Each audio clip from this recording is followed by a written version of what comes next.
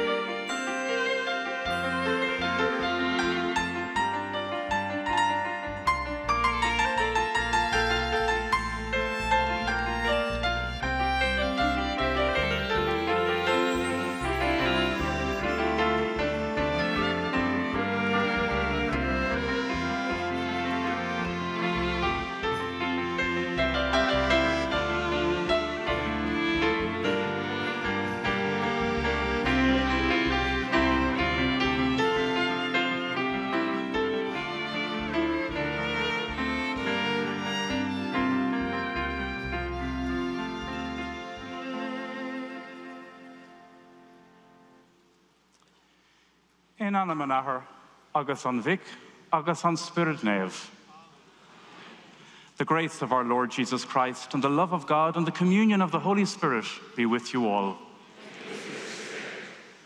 My friends, we gather this evening to celebrate our Celtic liturgy on this feast of the chair of St. Peter. The chair of St. Peter is an unusual feast, and we'll say a little bit more about it later on. But as you'll have gathered from our wonderful song there, the summons, it's all about the call and discipleship, what it means to be called, what it means to answer that question, Who do you say that I am? and what it means for us to be disciples. Pope Benedict, talking about this feast day back in 2006, said, celebrating the chair of St. Peter means recognizing it as a privileged sign of the love of God, the good and eternal shepherd who wanted to gather his whole church and lead her on the path of salvation. And here we are gathered, the Church of Los Angeles, and far beyond. Indeed, Bishop Alphonsus Cullinan with us here from Ireland. And so we gather as the church here at Congress, all on that path, all on that journey. At times, of course, our journey leads us different ways. Sometimes, maybe we turn from God. And so, as we prepare to celebrate this liturgy, let us take a moment to call to mind perhaps the things that have gone wrong, to ask God for His help, His grace, and His mercy as we continue on the path.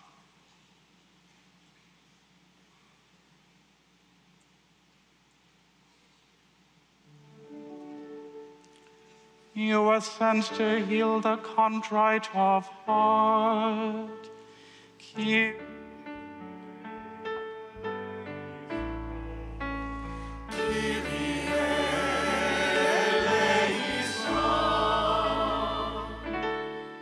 came to call sinners. Christe eleison.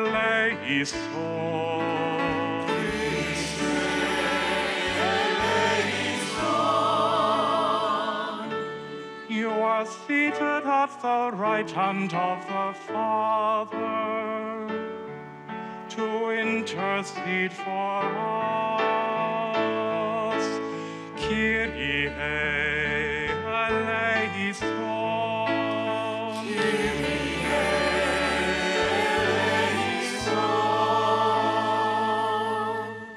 May Almighty God have mercy on us, forgive us our sins, and bring us to everlasting life.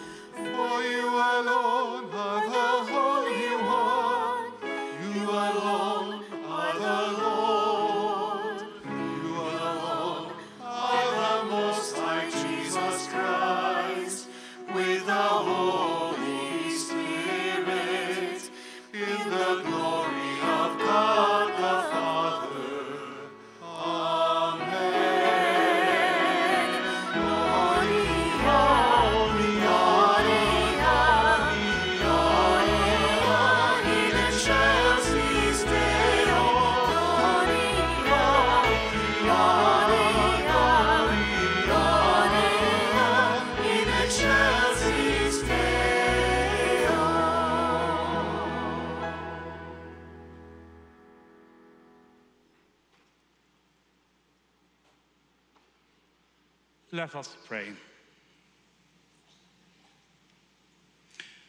Grant, we pray, Almighty God, that no tempest may disturb us, for you have set us fast on the rock of the Apostle Peter's confession of faith. Through our Lord Jesus Christ, your Son, who lives and reigns with you in the unity of the Holy Spirit, one God, forever and ever.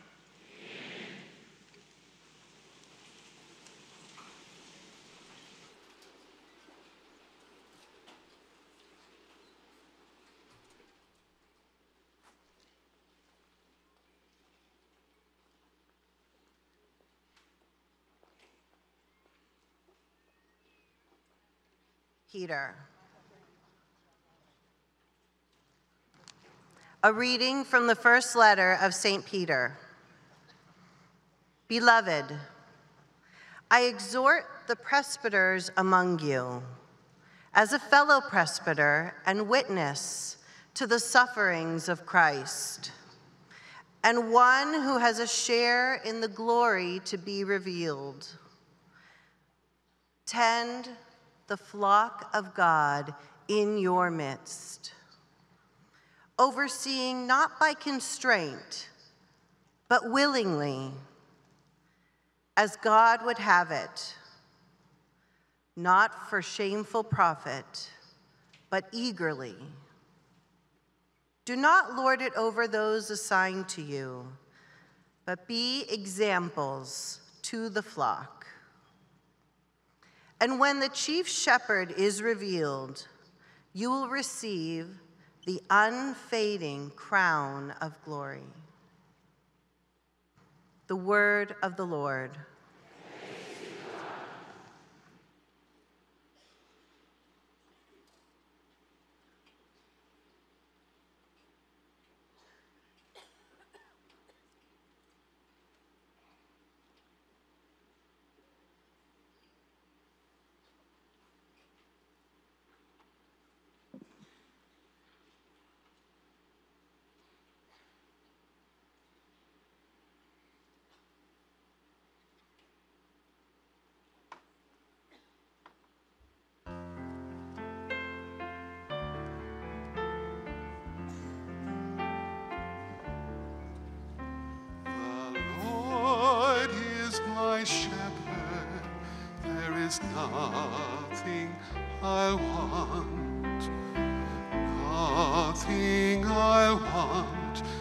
düşen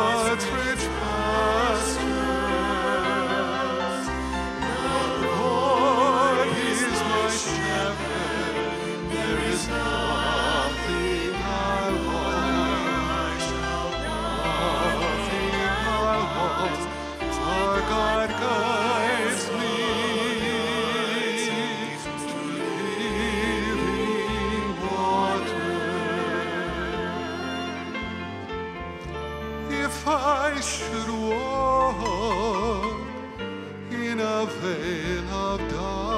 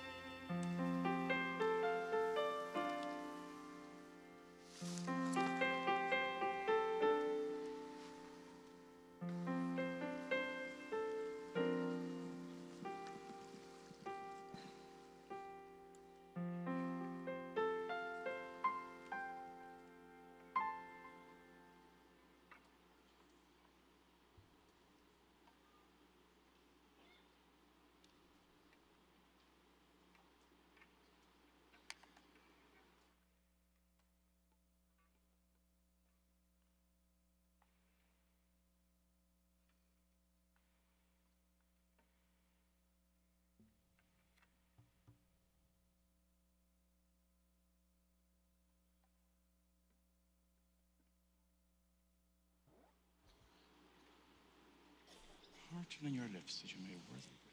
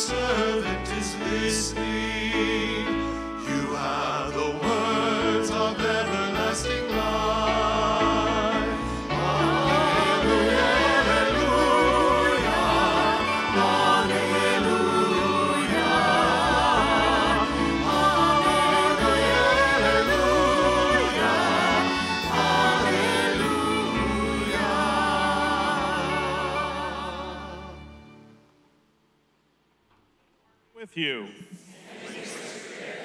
A reading from the Holy Gospel according to Matthew.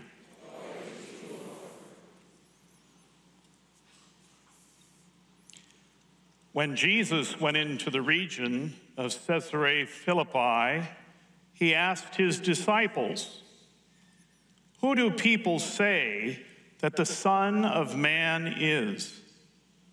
They replied, Some say John the Baptist, others Elijah, still others Jeremiah or one of the prophets. He said to them, But who do you say that I am? Simon Peter said in reply, You are the Christ, the Son of the living God. Jesus said to him in reply, Blessed are you, Simon, son of Jonah, for flesh and blood has not revealed this to you, but my heavenly Father. And so I say to you, you are Peter, and upon this rock I will build my church, and the gates of the netherworld shall not prevail against it. I will give you the keys to the kingdom of heaven. Whatever you bind on earth shall be bound in heaven, and whatever you loose on earth shall be loosed in heaven. The gospel of the Lord.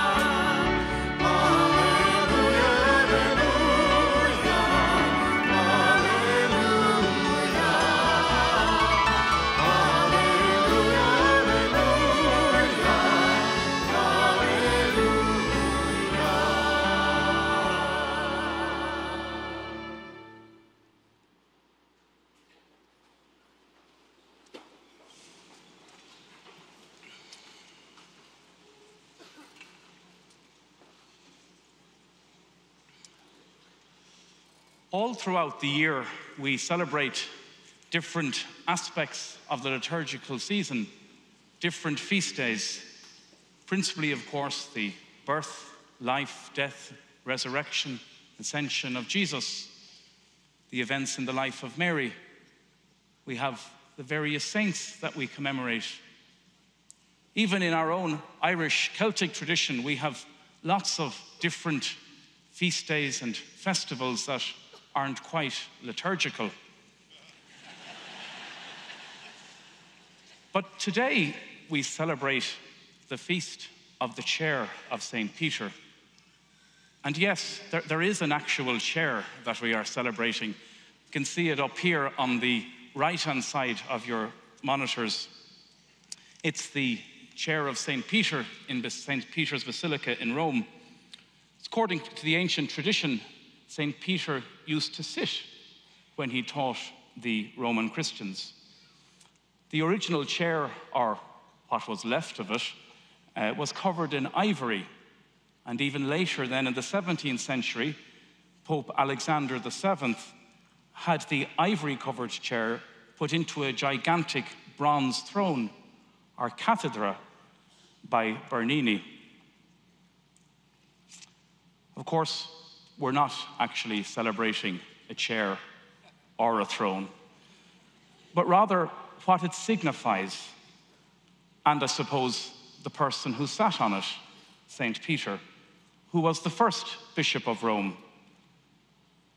We're celebrating the mission of leadership that Jesus gave to him.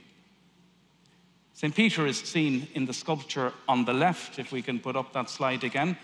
St. Peter there with the holding the keys in his left hand and giving the blessing in his right.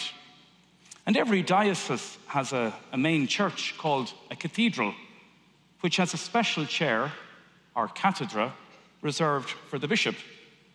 And that's where the word cathedral comes from. It's the church which contains the chair, or cathedra, for the bishop. So if we go back to the gospel St. Matthew's Gospel that we've just listened to, Jesus asks the disciples about what people are saying about him. What do they think of him? Back in Ireland, we've just had a general election. I don't know if I'm allowed to talk about elections here. but what we hear all the time is various opinion polls what are people saying about this party and what are people saying about that party? What would they do if they were in power? What they wouldn't do, what they didn't do, what they should have done. This question that Jesus asks is not a question like this. Jesus says to the disciples, What are people saying about me? And they say, Well, some say you're John the Baptist, some say Elijah. And he says, No, but what do you say? Who do you say that I am? And of course, Peter speaks up and he says, you are the Christ, the Son of the living God. Peter gives the answer, and then Jesus goes further and he gives them the mission that upon this rock I will build my church. The gates of the underworld won't hold out against it. I give you the keys of the kingdom. You can bind and you can loose. That question that Jesus asked was not actually asked to Peter, if you look back in the text. He asked the first of all, he asked the disciples, Who do you say that I am? And they said, Various people. And then he said, And who do you say that I am? To all the disciples. It was Peter who answered, but the question was asked to all of them. That question that Jesus asked to the disciples and Peter answered for himself is asked of each of us as well. Who do you say that I am? It's a very serious question. It's one that we all have to answer. Perhaps we answer it in a different way. We mightn't put the same words on it that Peter put, somewhat technical language. But it was what was in Peter's heart. He said what he understood that Jesus meant to him You are the Christ, the Son of the living God. We might answer it differently, but the question is asked of us, and we have to answer it too. Jesus, in response to Peter's reply, gave him a mission, gave him a mission of leadership. The question is asked to, to, of him as a disciple, and that the, after he gives the answer, he becomes the leader. And so, in a very real way, we celebrate today what it means to have leaders in the church. We all need leaders in society, in the church, in our workplace, in a choir, in our parish, whatever it is. Somebody has to lead. But even though Peter became the leader, he didn't cease to be a disciple. And in his letter that we read, the, the, the first reading, in his letter, he speaks about what type of a leader we should be. Now, don't lord it over others, but be good shepherds of the people that are put into your care. That's first and foremost, I suppose, given to Peter's successor, Pope Francis, but it's by no means limited to him, and it goes all the way down through the church, down to everybody who exercises any role of leadership. that we all, all those who are leaders, are still disciples. Perhaps if we turn it around another way, the disciple, every disciple, is called to exercise some sort of leadership too. I'm thinking particularly about what comes at the end of the mission that Jesus gave to Peter. Those things which you bind in heaven, bind on earth, will be bound in heaven, and those things that you loose on earth will be loosed in heaven. What does it mean to be a disciple? Well, these days we've been exploring how we live mercy so that we can be holy. And after the heart of discipleship is to live mercy, to embody mercy. We're not a disciple simply to follow Jesus in isolation. No, we're a disciple in the context of our brothers and sisters. And we all know the reality of being a disciple and living with others means that we're challenged in so many ways. Challenged about my own prejudice. What do I think of this or that? And am I thinking about it in the right way? Pope Francis, of course, puts a very strong emphasis all through his pontificate on mercy because it's at the heart of what we do as disciples. If we are really to be disciples who exercise some role of leadership, not as Pope, Bishop, Pastor, but simply to lead as a disciple. Look at the example in the Psalm The Lord is my shepherd. What does he do? How does he lead the people? Beside flowing waters to places of calm. The real disciple is one who can, in that last line of the gospel, unbind and make people free. Pope Francis has a wonderful phrase about mercy. We've heard it in different contexts about how mercy gives us hope, but in the original Italian, when he spoke it, he said that mercy gives us back our tomorrows. And so, as disciples, we're called be people who give hope to others, who give them a future, who by our mercy give back the tomorrow to others. So, as we celebrate today this feast of St. Peter, it's by no means limited to that chair at the back of St. Peter's Basilica, but rather it applies to you and to me how we are disciples and how we are leaders. As disciples, we have to lead, but as leaders, we still remain disciples. And the principal way that we can be disciples and answer that question Who do you say that I am? What do I mean to, what do I mean to you? We can answer that by living mercy in our lives and giving back to others their tomorrow.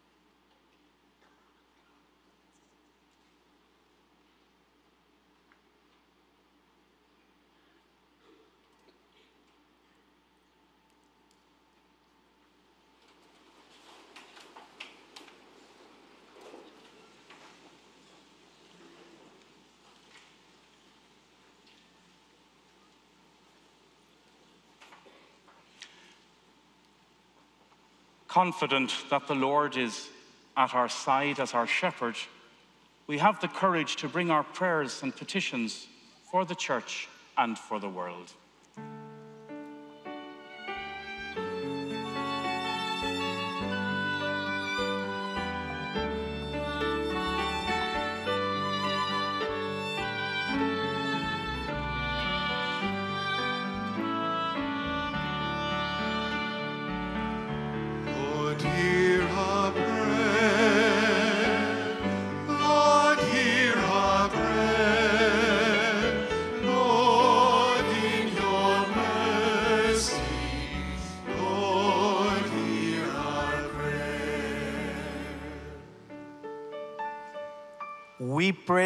For the church,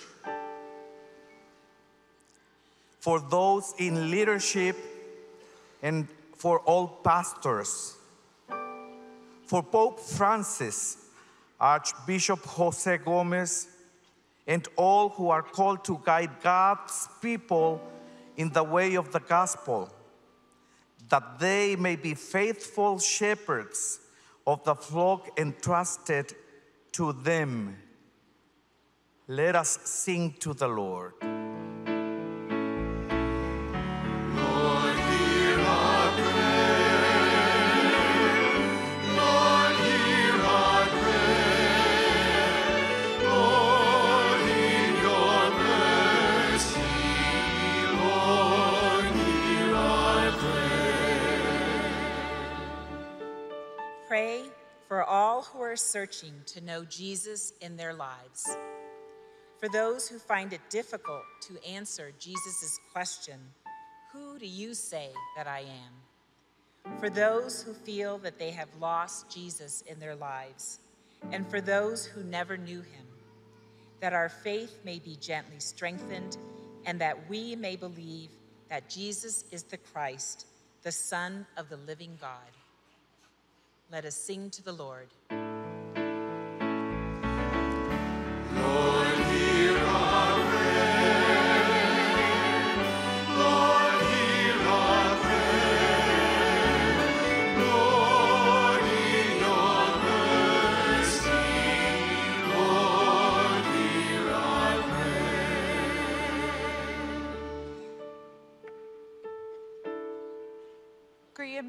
Ar san pobl dé. De gach duine atá bailte an seo le céile iniu. A thugan dá gud brea agus dá saoil. Das na daoine cosú le padar agus na aspal. Ghlach le deiscabáil ar san na héan. Gaba míad buchas as ocht a spirit flathúil agus misnahúil. Canamís ar san an.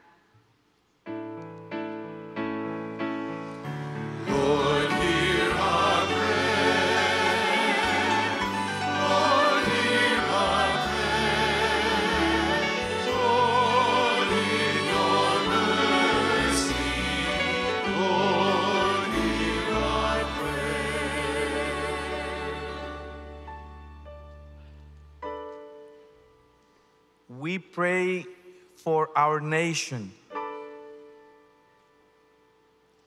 for our national and state officials that they may govern wisely,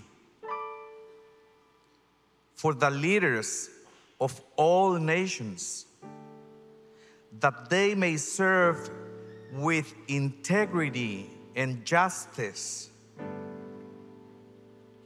for an end to bullying, gun violence, and random acts of terror.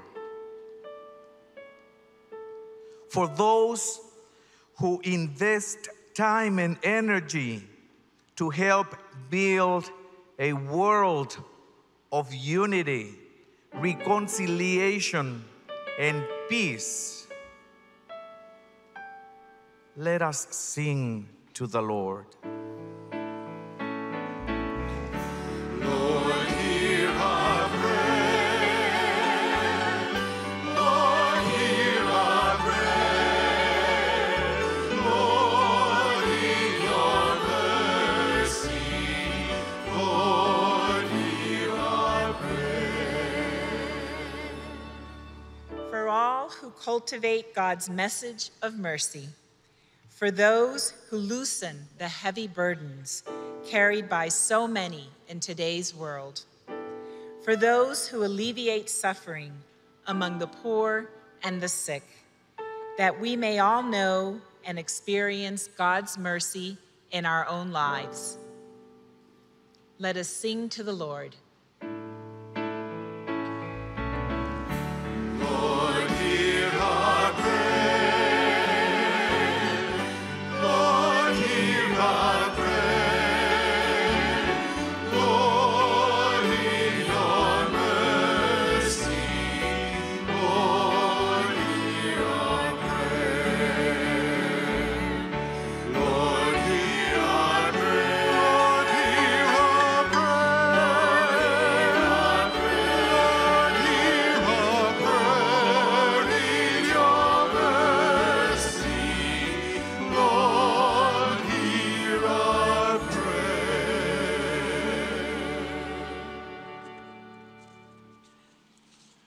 God our Father, we know you always hear us when we call to you.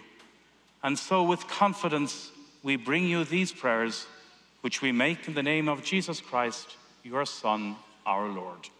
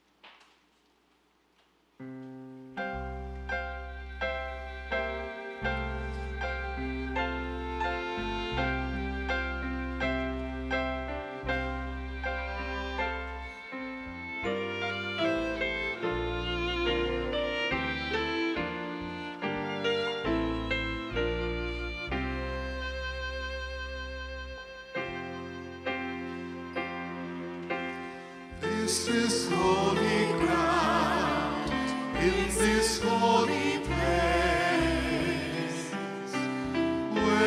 love is found, we come to seek His face.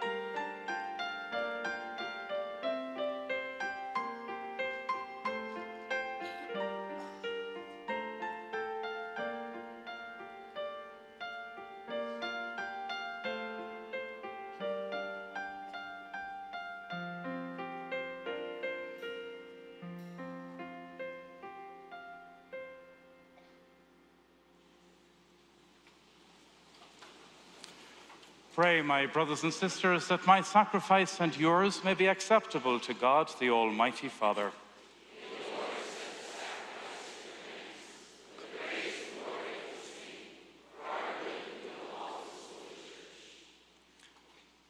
Accept with favor, O Lord, we pray, the prayers and offerings of your church, that with St. Peter as her shepherd, she may come to an eternal inheritance for it is through his teaching that she holds the faith in its integrity through Christ our Lord.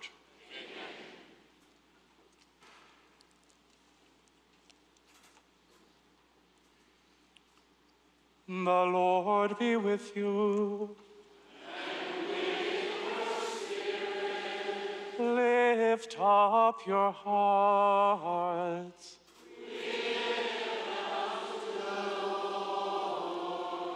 Let us give thanks to the Lord our God. It is right and it is truly right and just, our duty and our salvation, always and everywhere to give you thanks, Lord, Holy Father, Almighty and eternal God. For you, eternal shepherd, do not desert your flock, but through the blessed apostles, watch over it and protect it always, so that it may be governed by those you have appointed shepherds to lead it in the name of your Son. And so with angels and archangels, with thrones and dominions, and with all the hosts and powers of heaven, we sing the hymn of your glory, as without end we acclaim.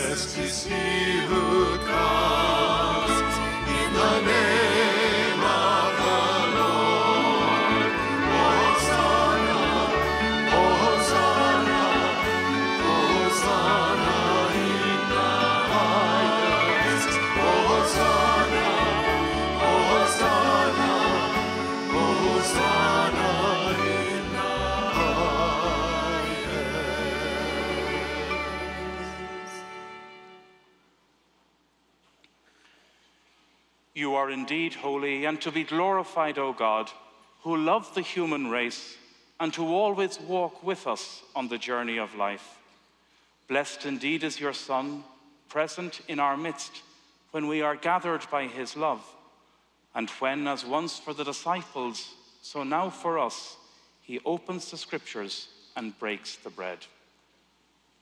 Therefore, Father most merciful, we ask that you send forth your Holy Spirit to sanctify these gifts of bread and wine, that they may become for us the body and blood of our Lord Jesus Christ.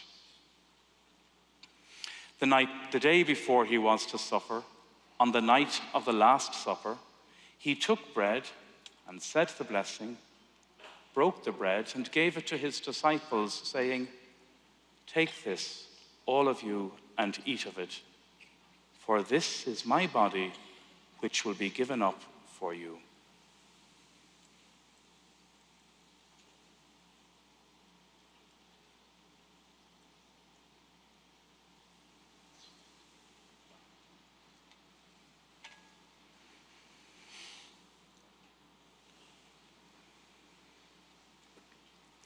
In a similar way, when supper was ended, he took the chalice, gave you thanks, and gave the chalice to his disciples, saying, Take this, all of you, and drink from it.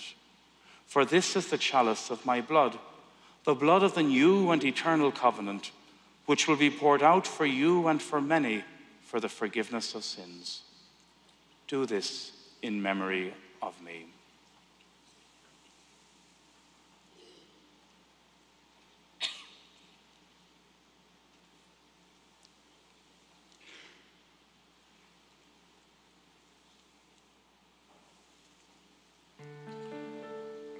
The mystery of faith.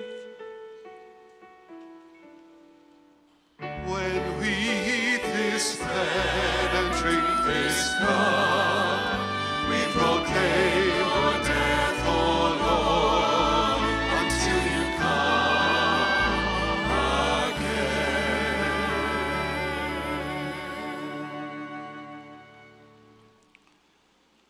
Therefore, Holy Father, as we celebrate the memorial of Christ, your Son, our Saviour, whom you led through his passion and death on the cross to the glory of the resurrection, and whom you have seated at your right hand, we proclaim the work of your love until he comes again.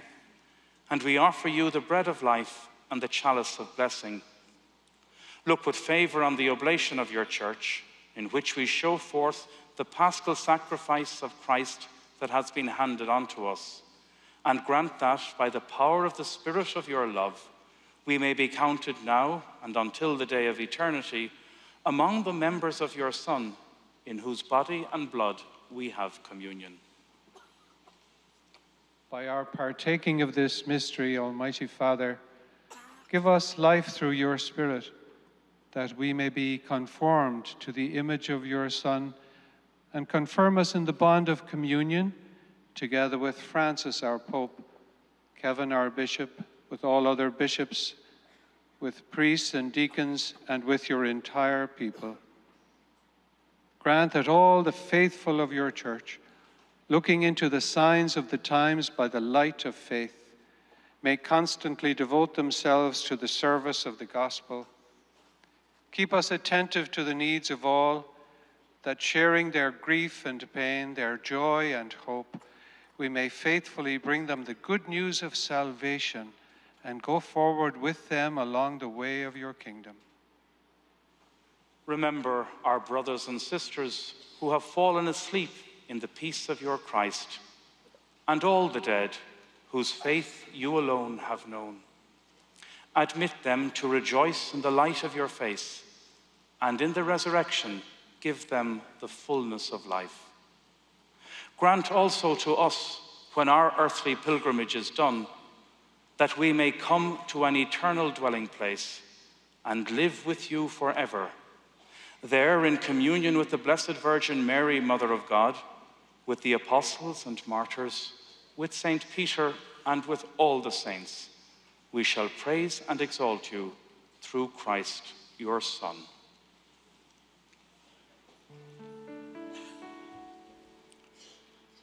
Through him, and with him, and in him.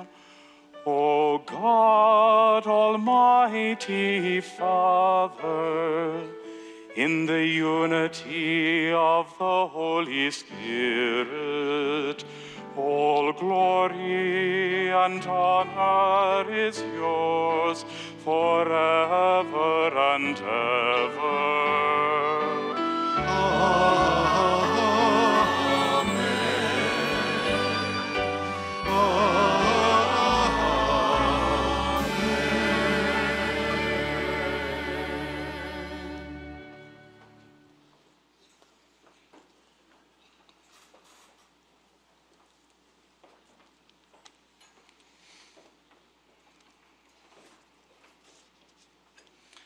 At the Saviour's command and formed by divine teaching, we dare to say, Our Father, who art in heaven, hallowed be thy name.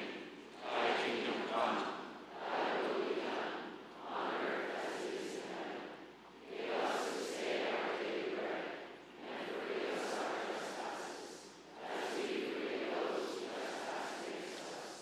And lead us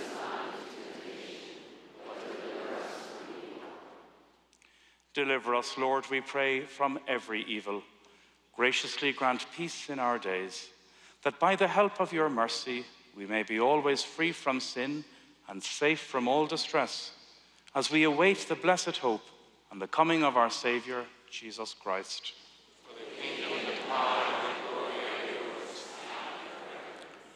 Lord Jesus Christ, who said to your apostles, Peace I leave you, my peace I give you. Look not on our sins, but on the faith of your church, and graciously grant her peace and unity in accordance with your will, who live and reign forever and ever. Amen. The peace of the Lord be with you always. Let us offer each other the sign of peace.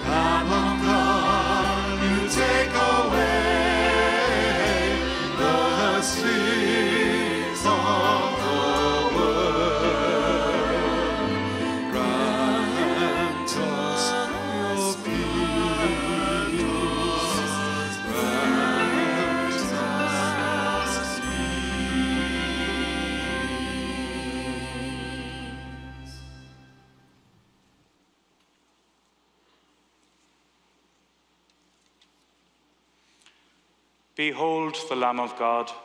Behold him who takes away the sins of the world. Blessed are those called to the supper of the Lamb. I am not worthy that you should enter under my roof, but only say the word,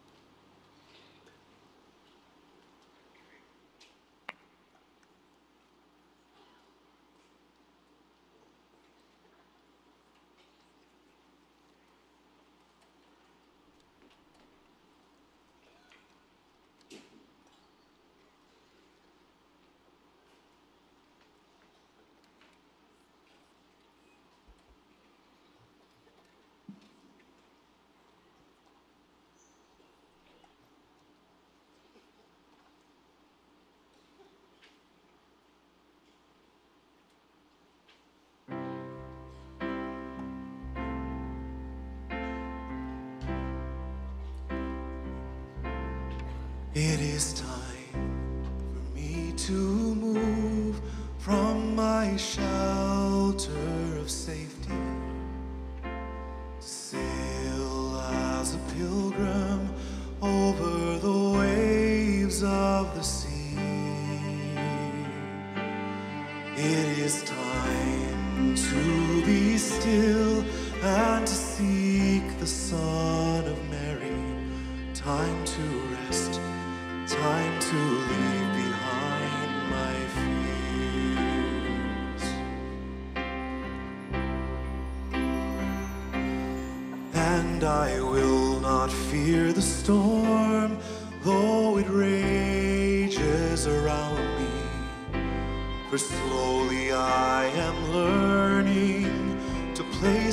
trust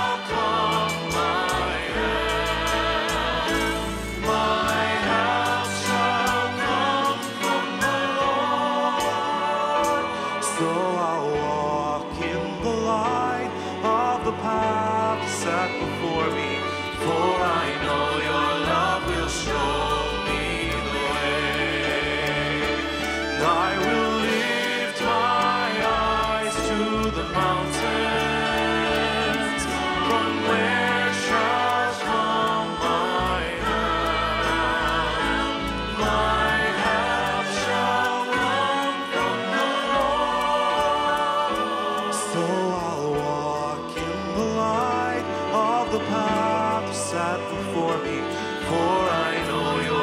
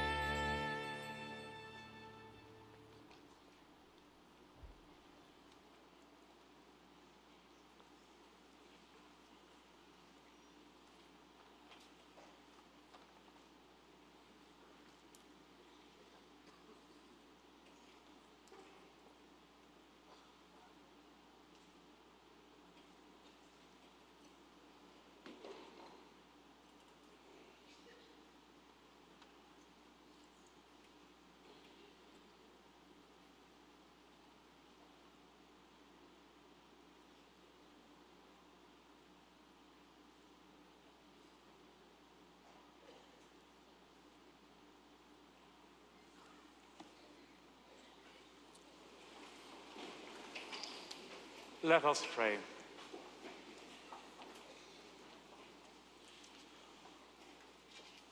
O God, who at our celebration on the feast day of the blessed Apostle Peter have nourished us by the communion in the body and blood of Christ, grant, we pray, that this redeeming exchange may be for us a sacrament of unity and peace through Christ our Lord. Amen. The Lord be with you. With your spirit. Gomanna dia il ahar, agus mach, agus spirit